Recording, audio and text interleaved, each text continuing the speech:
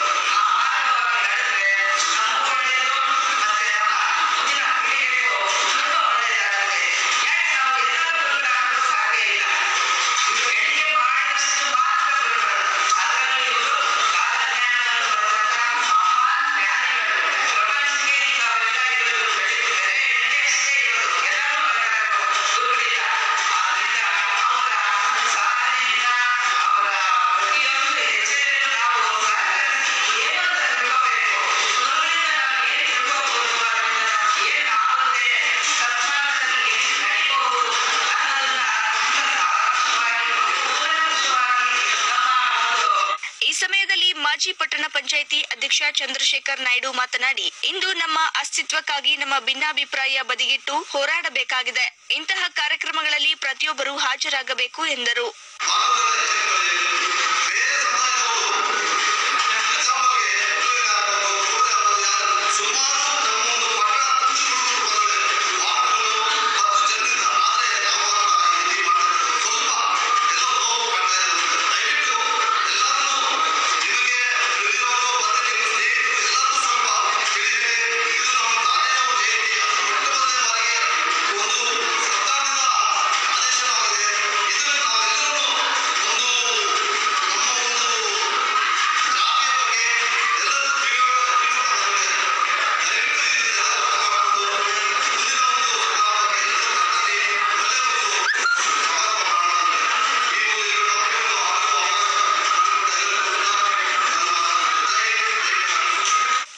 ಸಮಯದಲ್ಲಿ ಬಲಿಜ ಸಮುದಾಯದ ಪ್ರಕಾಶ್, ಪಟ್ಟಣ ಪಂಚಾಯಿತಿ ಉಪಾಧ್ಯಕ್ಷ ಅನಿಲ್ ಕುಮಾರ್, ಬಿಜೆಪಿ ಮುಖಂಡ ಮುನಿರಾಜು, ನಿರ್ಮಲಮ್ಮ ಇತರರು ಹಾಜರಿದ್ದರು.